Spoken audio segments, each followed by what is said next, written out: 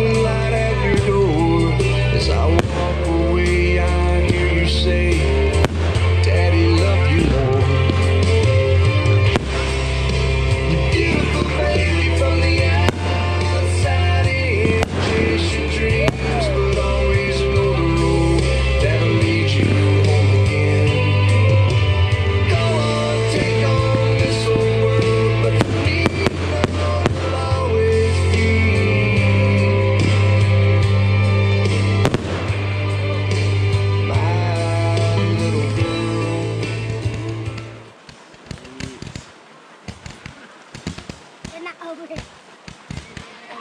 Wow. oh, yeah. Good thing we got rid of the sentimental shit.